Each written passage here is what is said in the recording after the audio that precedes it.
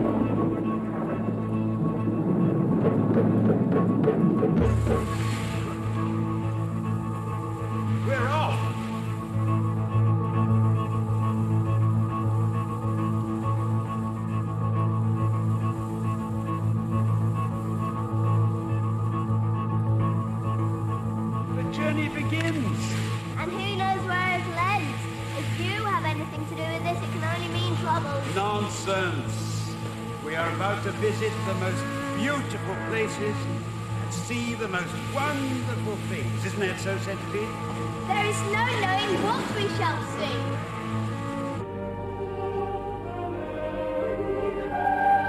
Fourth of December, 1939. Dear Mama, I'm having a lovely time.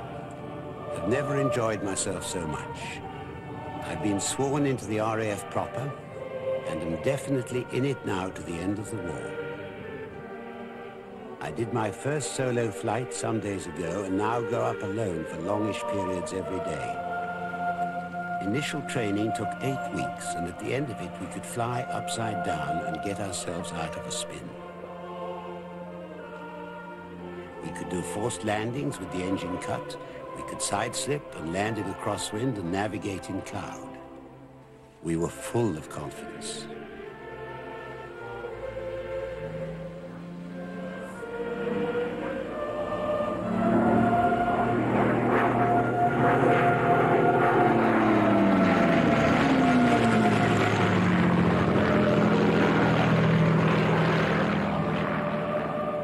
I've just learned to loop the loop, and the next thing we've got to learn is flying upside down.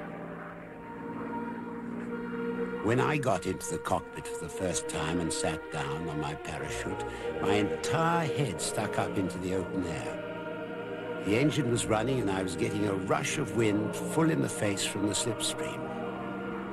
You are in a metal cockpit where just about everything is made of riveted aluminium. There is a plexiglass hood over your head and a sloping bulletproof windscreen in front of you. Your right hand is on the stick, and your right thumb is on the brass firing button on the top loop of the stick.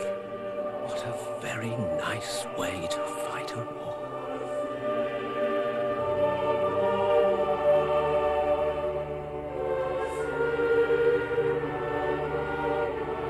Is the tiny magic area of absolute blackness. Are you sure you want to go through with this? The mind will cease fidgeting. Nothingness.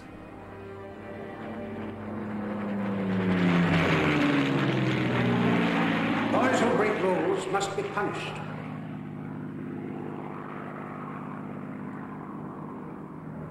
How many young men, I kept asking myself, were lucky enough to be allowed to go whizzing and soaring through the sky? Even the aeroplane and the petrol were free. What a fortunate fellow I am, I kept telling myself.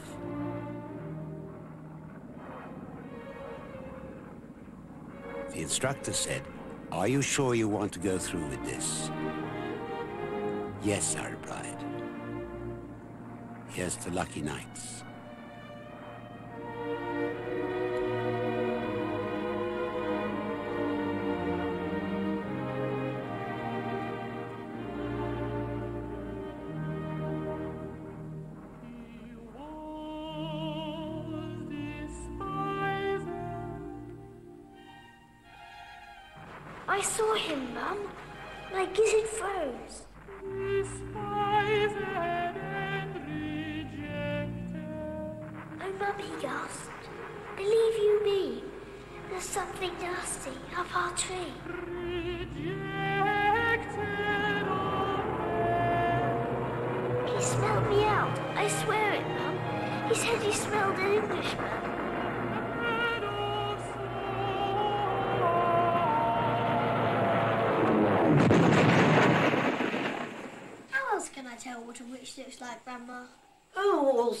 Sorts of ways. Look for the nose holes. A witch's nose holes are usually slightly larger than most people's. The rims are horrid, all pink and crimpy, like the rims of certain seashells. Why do they have such big nose holes?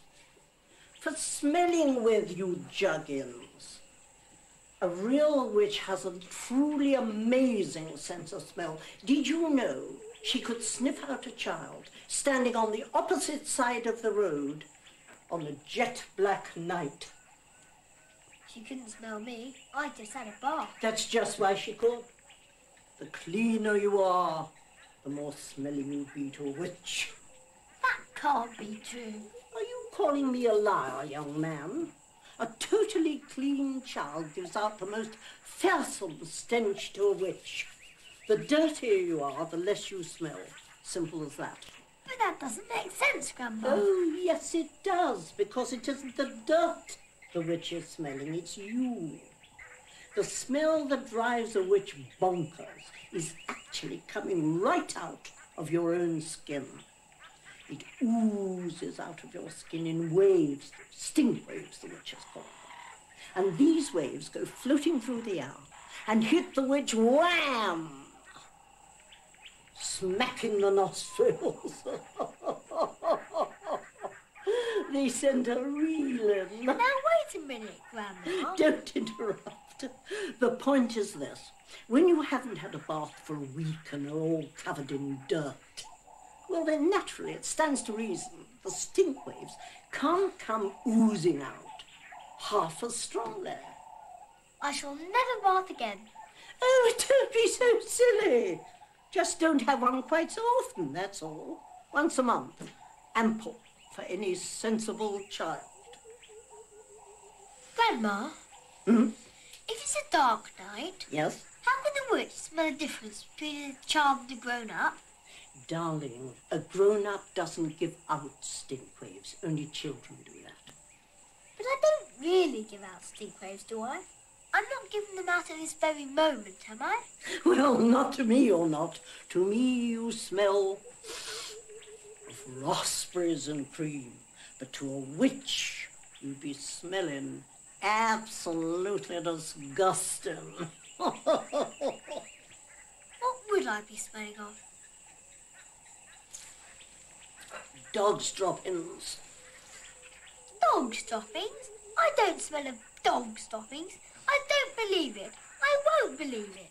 What's more, you'd be smelling of fresh dog's droppings. That can't be true. I don't smell of dog stoppings, stale or fresh. There's no point in arguing about it. It's a fact of life. I'm going to rinse you now. There's a bit more you ought to know about witches. Like what, Mr. Dark? Well, witches aren't actually women at all. They look like women, they talk like women, and they act like women. But the truth is that they're... they're totally different animals. They're demons in human shape. What else is different about them? The feet. They don't have any toes. No toes? Then what do they have? They just have feet. They have square feet no toes on the end of them. Does that make it difficult to walk? Not at all. But they do have a problem with their shoes. They have an awful job getting their square witch's feet into these tiny little pointed lady shoes. Are those the only differences? There's one more. What is it? Their spit is blue. Blue? Not blue. That spit can't be blue. It's as blue as the juice of a bilberry. You don't mean it. No one can have blue spit. Witches can. Is it like ink? It's exactly like ink. As a matter of fact, they use it to write with. They use those old-fashioned pens that have nibs. And they just lick the nibs. If you look closely, you can see a bluish tinge on their teeth. Can you really notice the blue spit? Only if you look closely. I would, if she spat. They never do that, no. They've got to be very careful. A real witch has truly amazing powers of smells. She could sniff a child out who was standing on the opposite side of a road on a jet black night. That can't be true. Did you ever meet a witch? Once, only once. What happened? I'm not going to tell you. Frighten you to death. Please tell us. Oh, please. No, no, please, no, please no, do. no, please no, do. no, no. Some things are too horrible to talk about.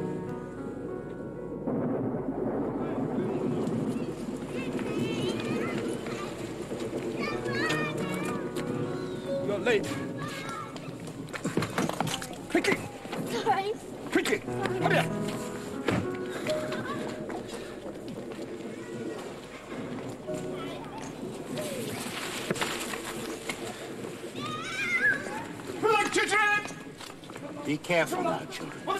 Oh, dear.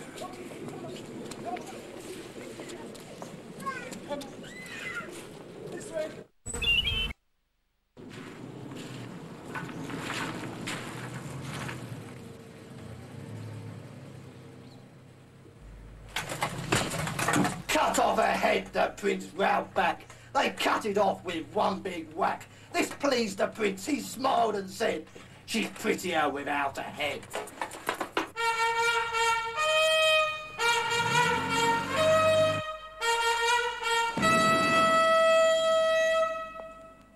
Jack was nimble. Jack was keen. He scrambled up the mighty bean. Up, up he went without a stop. But just as he was near the top, a ghastly, frightening thing occurred. Not far above his head he heard a big, deep voice, a rumbling thing that made the very lecterns ring. It shouted loud, Fee, fi, fo, fum.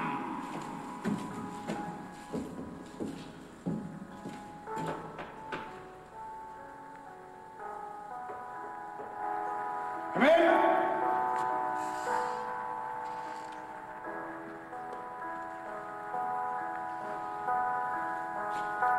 Smell the blood of an Englishman. I'm going to give you six. Boys who break rules have to be punished. But, sir, I, I had a bus nip, sir. That's no excuse. Six. Take up the position, boy.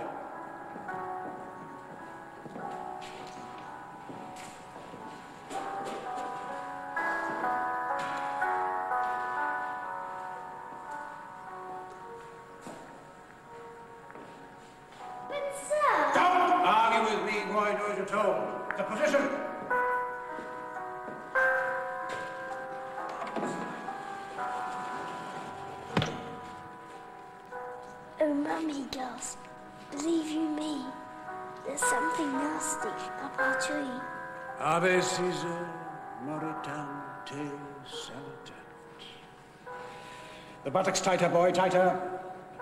I saw him, Mum. My gizzard froze.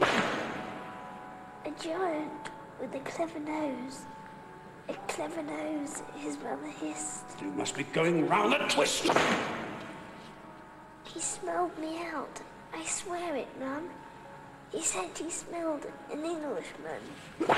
The mother said, and well she might, I've told you every single night to take a bath because you smell. If you're so clean, why don't you climb the crazy beam? Would you do it? Would you, hell? You even make your mother shriek because of your unholy smell. A bath does seem to pay. I'm going to have one every day. You me go.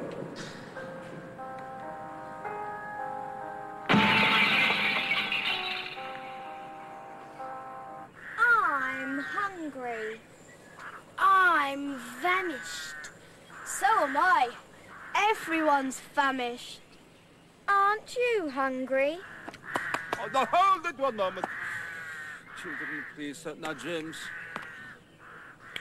Just remember that in this story you have just crept into this giant peach and you've come across these ginormous hungry insects that you think are about to gobble you up. So if you are about to be gobbled up by ginormous hungry insects, tell me, how would you be feeling about it? I'd be scared, miss. That's right, James. So please, don't be more scared. Okay, so from your last line, Miss Spider. Aren't you hungry? You look positively ill. He looks as though he's going to faint any second. Oh my goodness, the poor thing. I do believe he thinks it's him we're wanting to eat. Down with children, do them in. Boil their bones and fry their skin. Yeah, yeah, that's good. Yes, carry on. You mustn't be frightened. We wouldn't dream of hurting you. I've been waiting all day long for this. So cheer up, my boy. Cheer up. I'm a little forward.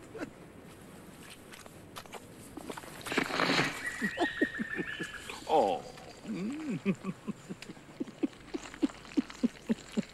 got lots of boots. I have lots of legs and a lot of feet. 100 to be exact. No, no, not yet, Cloudman. What am I seeing? I'm seeing a revolt inside. I'm seeing a rotten, repulsive.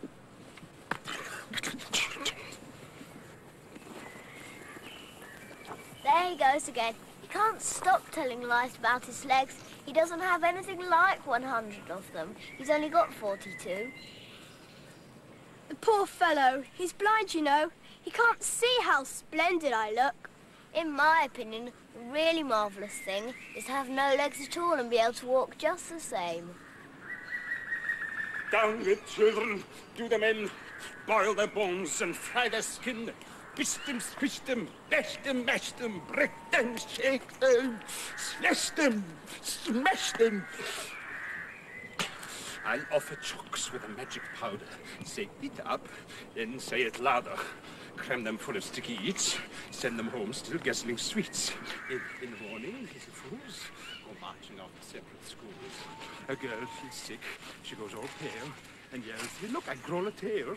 A boy who's standing next to her is screaming, help. I'm growing fur. Another shouts, we look like freaks, there's whiskers going on our cheeks. A boy who was extremely tall cries out, what's wrong? I'm growing small. Four tiny legs begin to sprout on everybody round about. I'm and all at once, all in a trice. There is no children, only mice. In every school is mice galore, all running around the schoolroom floor, and all the poor demented teachers is yelling, Hey, who are these creatures? They stand upon the desk and shout, Get out, you filthy mice, get out! Will someone fetch the mouse traps, please? And don't forget to bring the cheese. the mouse traps come, and every trap goes snippy snip and snappy snap. The mousetraps have a powerful spring. The spring goes crack and snap and ping. Is lovely noise for us to hear. Is music to a witch's ear.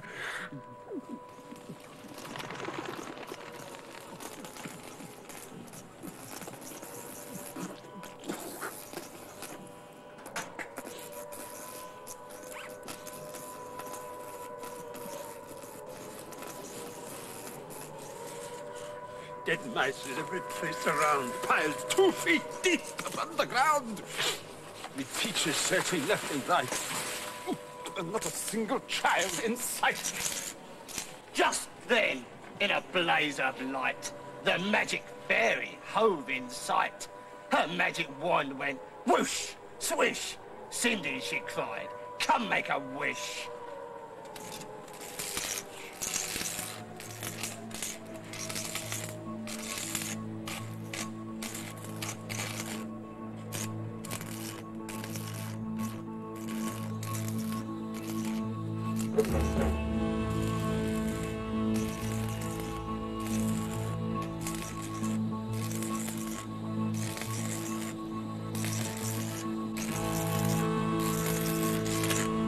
This dirty slut? Off with a nut! Off with a nut, this dirty slut!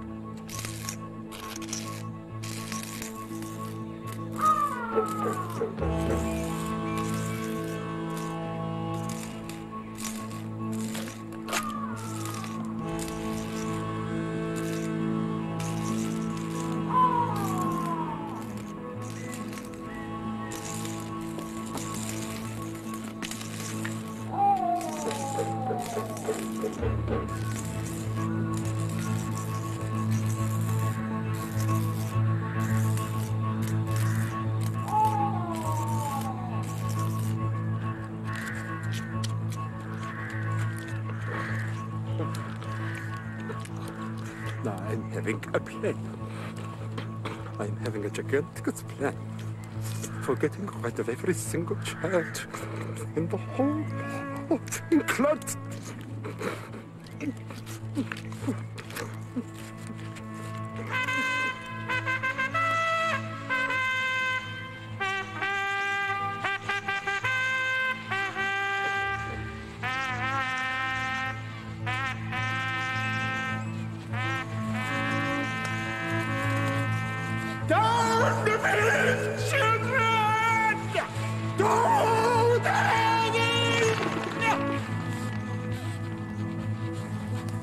Their bones and fry their skin, bish them, squish them, bash them, mash them.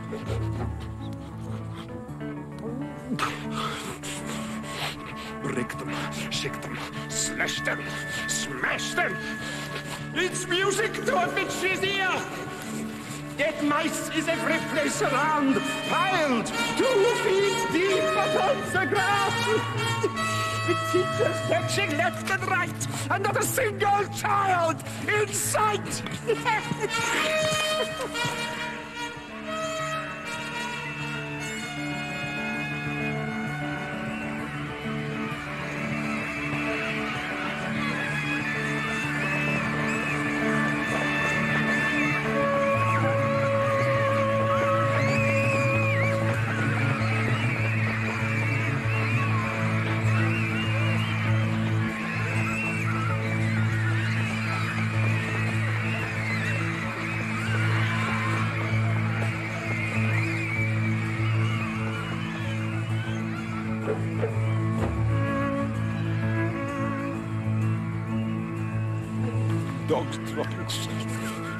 Is full of it.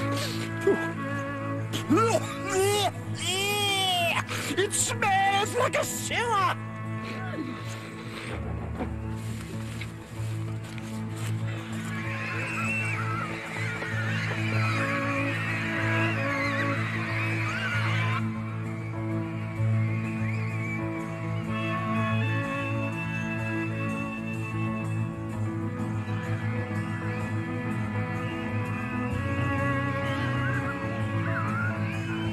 On, we've got to get off this horrible hill. Come on.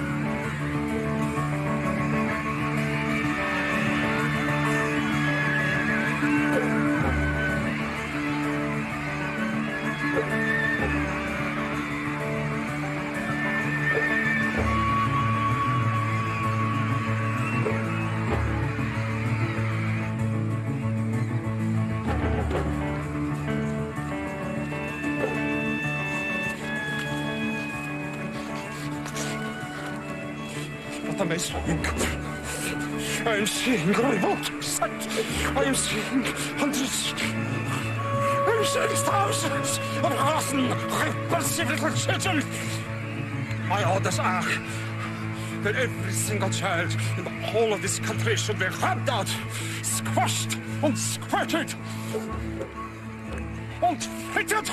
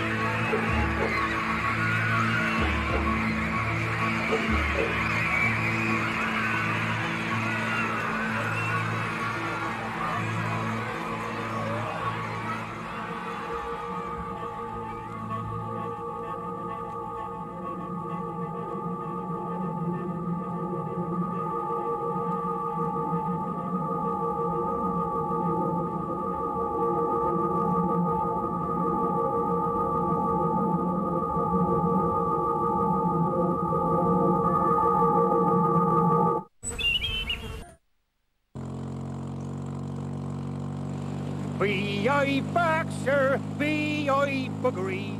I comes daft from Wareham. I knows a girl wears calico drawers, and I knows how to tear 'em. Clouds like mountains towered high above their heads on all sides, mysterious, menacing, overwhelming. Gradually it grew darker and darker. Then a pale three-quarter moon came up over the tops of the clouds and cast an eerie light over the whole scene. Hello, Mummy. Who have we here? Clouds like mountains towered high above their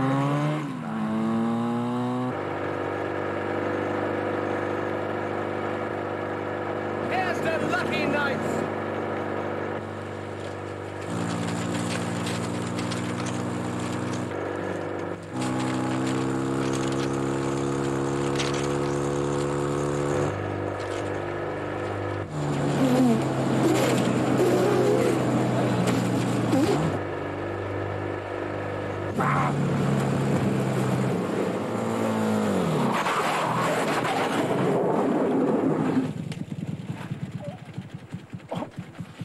Oh, mommy, mommy, mommy.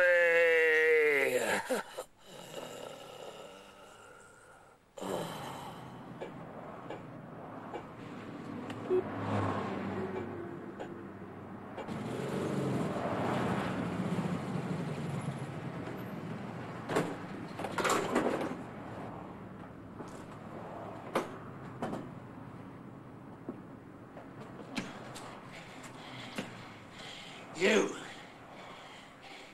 Hey, you! What you think you're? Oh, good morning, officer. I want a word with you about all this money. You got some, did you? I'm very happy for you. Don't get smart with me, sonny. Where'd you get it from? I won it. Had a lucky night. Lucky night. Won it. Check it out. Don't worry, son. I will.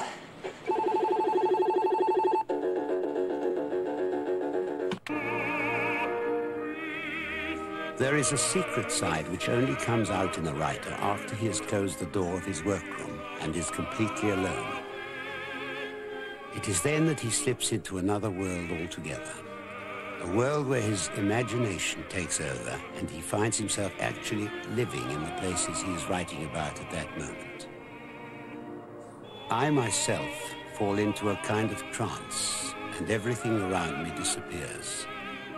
And quite often, Two hours go by as though they were a couple of seconds.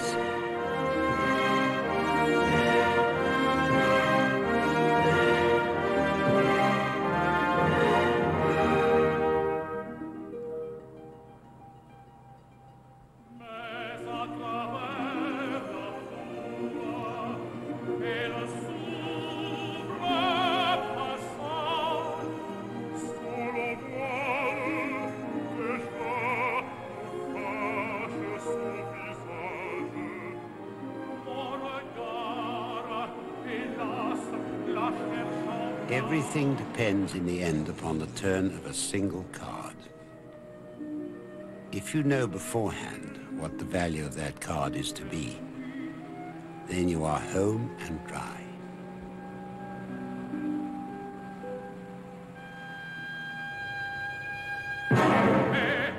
But can he do it? Can he be trained to do this thing? It was a lot of money for an hour's work, but it's all too easy. Nothing is any fun if you can get as much of it as you want, including money. Every time I make a bet, I'm certain of winning.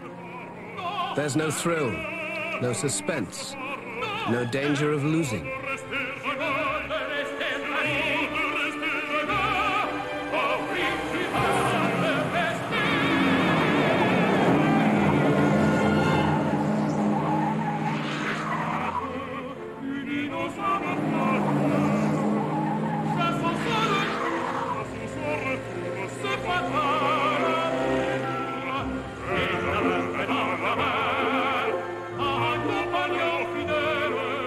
Travel around the world and make millions. But is it going to be any fun doing it? What of the future? Is it not possible that the process he will go through will completely change his life?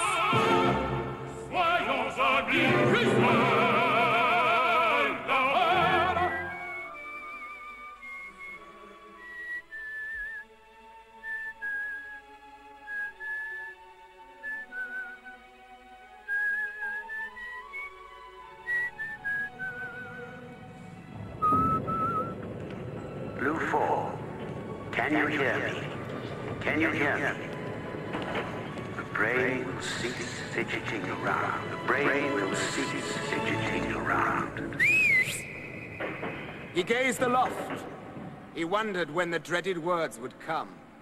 And then, from somewhere high above the ground, he heard the giant mutter twice. By gosh, that tasted very nice. Although, and this in grumpy tones, I wish there weren't so many bones.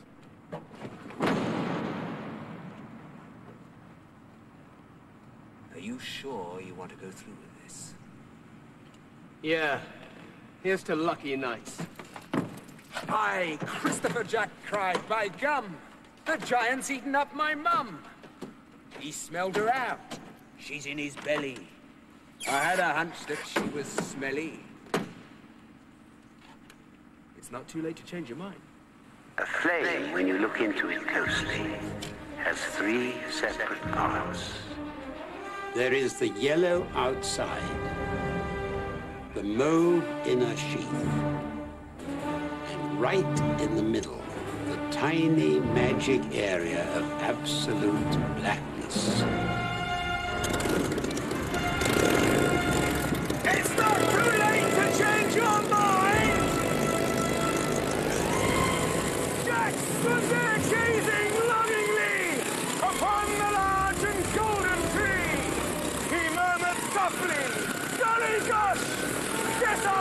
Take a wash! If I'm going to climb this tree without the giant smelling me! Blue 4, can you hear me? Can you hear me? The brain will cease fidgeting around. The brain will cease fidgeting around. Blue 4, speak louder, please. Can you hear me? The whole body will feel as if it is actually encased within the flame. The mind will cease fidgeting. The mind will cease fidgeting. Speak louder, please. The mind will cease fidgeting.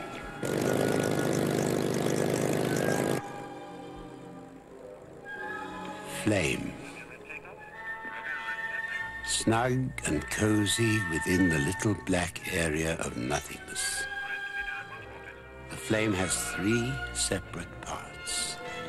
There is the yellow outside, the mauve inner sheath, and right in the very center, the tiny magic area of absolute blackness. Vector 035. 40 miles, Angels 8. Vector 035, 40 miles. Angels 8. Is that understood? Received. I'm on my way.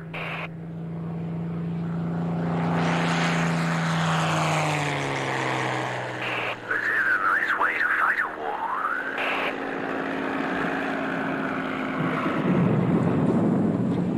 Having trained himself to read the value of a playing card from the reverse side, our gambler, our rather dishonest gambler, realized he could make a fortune. Stare at the tiny area of absolute blackness.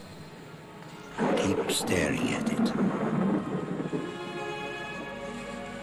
After six months' fierce and concentrated work, he could do it in 20 seconds. Blue 4, can you hear me? The brain will cease fidgeting around. But when you're gambling in a casino, and the dealer is waiting for you to say yes or no, you're not going to be allowed 20 seconds before you make up your mind.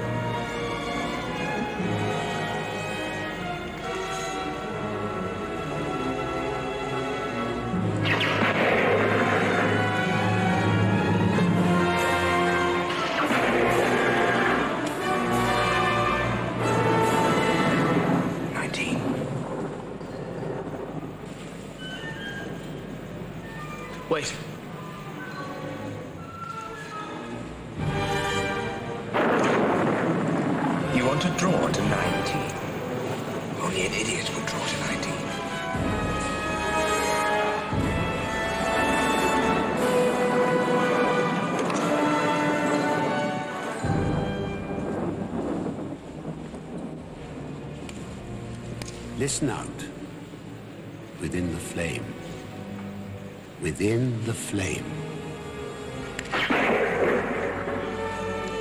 I'll take another card.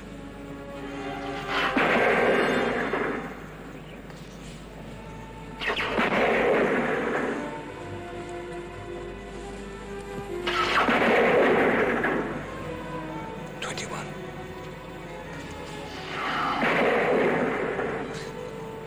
Your lucky night.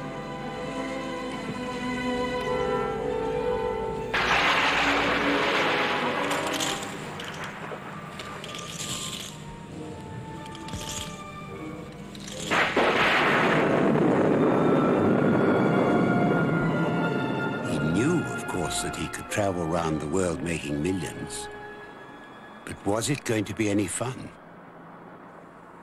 It had been all too easy.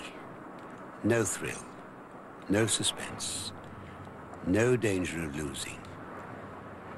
A melancholy experience. Sergeant.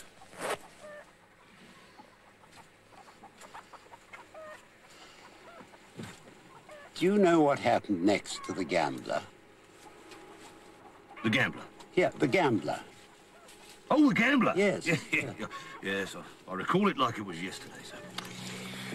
I remember it like it was yesterday.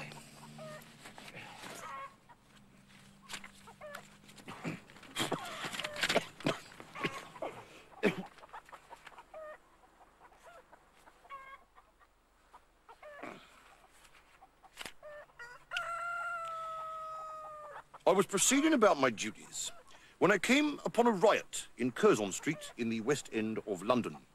A young man, the aforementioned gambler, as it transpired, was driving around throwing money, thousands of pounds worth of it, out of his car window in the middle of the street. People was going bonkers. The entire street was blocked. I stood there, stark naked, a red hot poker in one hand and a jar of cold.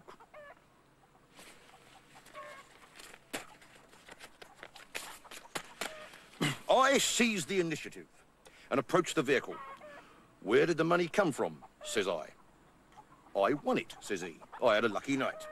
He proceeded to give me the name of the club where he had won the money, and I jotted it down in my little notebook. Check it out, says he.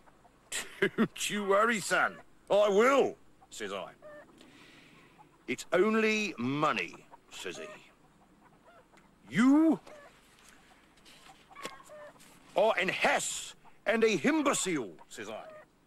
If you've been lucky enough to win a big sum of money like that, you don't drive around throwing it in the middle of the street. You could give it where it would do some good. To a hospital, for instance.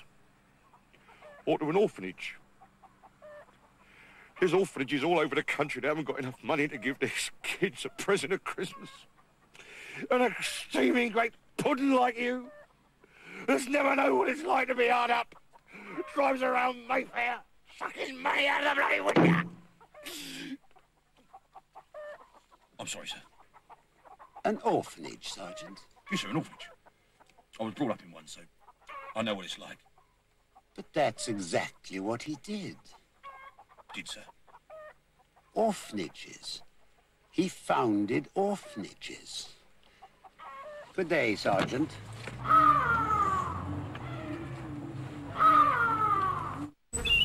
Take a journey through the world of Roald Dahl today on ITV3.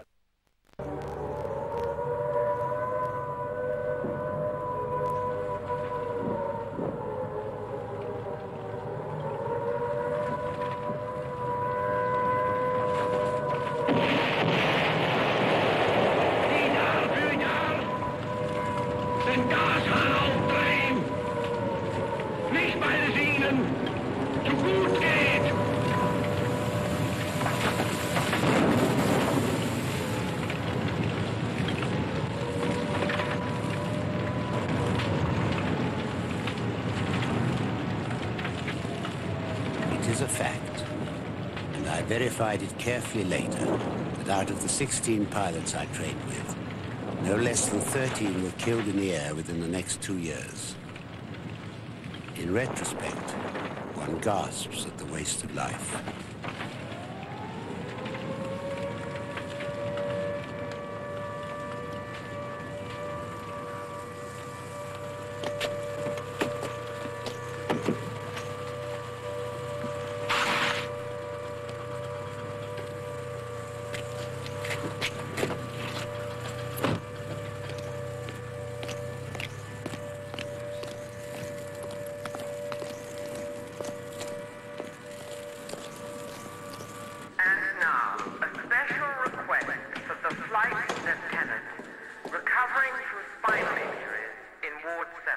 When I was down beside the sea, a wooden spade they gave to me to dig the sandy shore. My holes were empty as a cup, and every time the sea came up till it could come no more. When I was down beside the sea, a bucket and spade they gave to me. My holes were empty as a cup, and every time the sea came up, till it kept coming down more. Your mother wants you to remember those sunny days. Those sunny days by the sea. Mummy, look what I've found. Oh, look, Mummy, look. Poor baby's got a splinter in his foot. Oh, I'm sorry that must have hurt. Oh, I didn't notice anything. What do you mean you didn't notice? I just didn't notice, that's all. I suppose you're going to tell me if I stick the pin right into your foot, you're not going to feel that either. well, I didn't say that.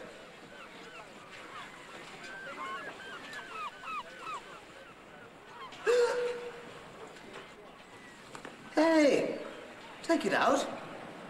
You can poison someone like that. Do you mean you can't feel it? Take it out, will you? Do you mean it doesn't hurt? Yes, yes, the pain is terrible. Take it out. What's the matter? I said the pain is terrible. Didn't you hear me? Don't you ever take any notice? What do you mean you didn't notice? Just didn't notice, that's all. Oh, mummy, mummy, mummy, mummy, mummy. Suppose you're going to tell me if I stick the pin right into your foot, you're not going to feel that either. I didn't say that. hey. Oh. Oh, mummy, mummy. Take it out, will you? You can poison someone like that. As soon as the wolf began to feel that he would like a decent meal, he went and knocked on Grandma's door. When Grandma opened up, she saw his sharp white teeth, his horrid grin, and Wolfie said, May I come in? Well, Grandmama was terrified. He's going to eat me up, she cried. And she was absolutely right. He ate it up in one big bite. But Grandmama was small and tough, and Wolfie said, That's not enough. I haven't yet begun to feel that I have had a decent meal. He ran around the kitchen yelping, I've got to have a second helping! She stared and then she said, What great big ears you have, Grandma. Blue 4, can you hear me? Can you hear me? Await orders. Listen out. All the better to hear you with. Blue 4, can you hear me? Vector 035, 40 miles, Angels 8. What great big eyes you have, Grandma. All the better to see you with. Bandits overshipping at Kalkis. Received. I'm on my way. He sat there watching her and smiled. He thought, I'm going to eat this child. Compared with their old grandmama, she's going to taste like caviar. But, Grandmama, what a lovely big furry coat you have on. That's wrong. Have you forgot to tell what big teeth I've got? Oh, well, no matter what, I'm gonna eat you anyway!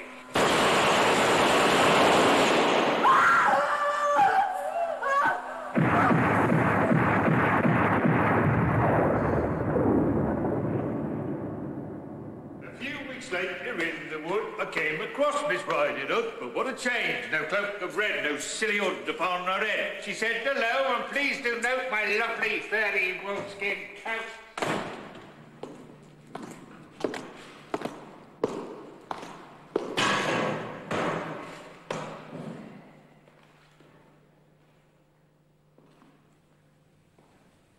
What exactly was your relationship with Goldilocks, Ronald? Are you trying to insinuate something? It is Ronald, isn't it? No. You are on a military station. I am allowed to be. I'm a pilot officer. Not any longer, mate. You never change. You always are what you were. I was a child once, I still am. Oh, yeah.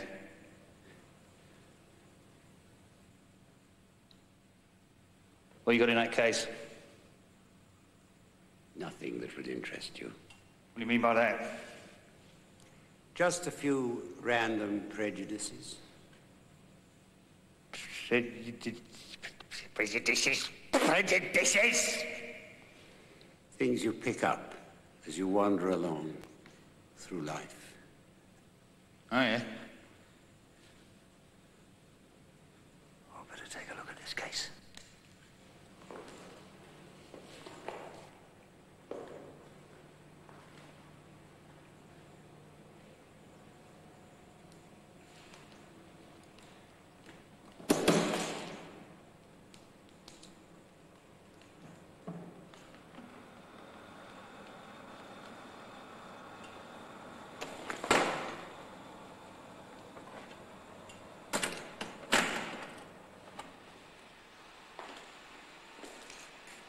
What's all this then?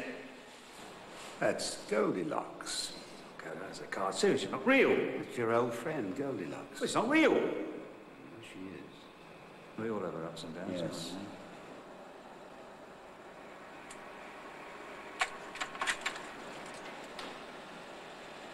Hey, that's me. Violence. I hate violence. Oh, I love it. I love a bit of violence. Yes, I love it. Yes. Had a very good war. I hate war, Sergeant. I hate ruins and bombing. I've seen enough of it. See, I do. You make a living by it. Yeah, I do. It's my job. It's, Yeah. it's all I know. Yeah, It's you like it? No, I like it. You're brought up. I. I abhor it. Hmm. And that's, that's a hurricane. That's, uh, that's the loveliest of aeroplanes. Oh, I like, I like Spitfire myself. That's my favourite. I love that. I used to watch them when I was a boy and I did dogfights up in the sky. I did? Yeah, it was good. Chocolates. Now, you see, that's not a prejudice, Sergeant. That's a preference with me. That I've means you like loved them all my life. Got sweet tooth, have you like them? Yes, yes, what there are left of them. Oh, you're in very good shape, man. Nice and slim. Yes. But you know about chocolates. No, I don't like them. Such. England has the finest range of what we used to call tuppenny bars, Uh, chocolate bars in the world. And do you know when they, I'll tell you something which might interest you. Do you know when all the great tuppenny bars that we eat today were invented? Well, the first one was the Dairy Milk Flake, 1920. And then there was a long period uh, of sterility. Sterility, yes. And, and, and then came the 30s, which in, in, the, in the chocolate world is the equivalent to the, I expect you've heard of it, the Italian Renaissance in pictures. Renaissance. Oh. Well, he's an Italian actor, wasn't he? The Visconti. I remember Visconti. Renaissance. Renaissance. He's good, isn't he? he had it with that uh, Lowly Bridgie. Lowly, Lowly, Lowly Bridgie did. She's good. Uh, you know her? Great citizen. Well, anyway, anyway, the 30s is it. it was equivalent in the chocolate world to the Italian Renaissance. All the great chocolate bars we eat today, curious enough, were invented in the 30s, 50, 60 years ago. Very interesting. Ron. Yes, it Very is. Since the war, nothing in the 50s, 60s, 70s, to my mind anyway, as a connoisseur, not a single great bar of chocolate has been invented. These dates in the 30s, I mean, they are very. I don't know why children at school, uh, instead of learning uh, 1066 William I and all the rest of it, why don't they learn 1932 Mars bar, 1934 Malteser, 1935 Aero? 19, uh, these are worth knowing. Good, These dates, yes, they are. They're vital. Very interesting. Vital to every child. Who cares about William I and Henry IV? Yeah. They don't. No, You, you don't, do Yeah. No. He was in the army, wasn't he? Henry. I think he was, yes. Yeah, he was. He yes. was so he's- On a he started it all off, I think. Yeah. Yeah. Mm. Good he was. Yeah. Yeah. Big fat fellow, wasn't he? That's Got married, had lots of women. That's Henry VIII. Oh, Henry, yeah, that's right. That fella playing in that film, saw me. That was good, wasn't it? Yeah, that's Like right. Yeah. One in Treasure Island. Yes, that's right. With a leg. Yes. It's good, that. I like that. Hey, you learn something every day, don't you, Mum?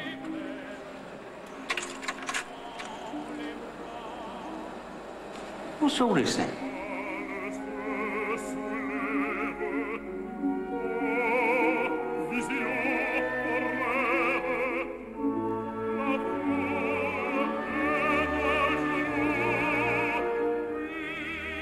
Gnu and the gnoceros surely we'll see.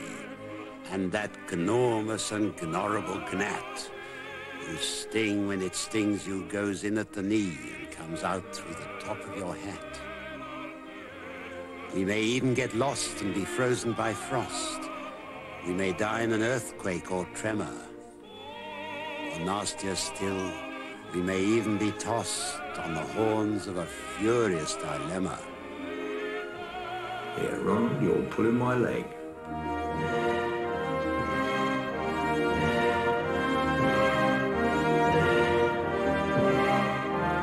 We conclude our special weekend of Roald Dahl with an evening of sinister tales inspired by the man himself.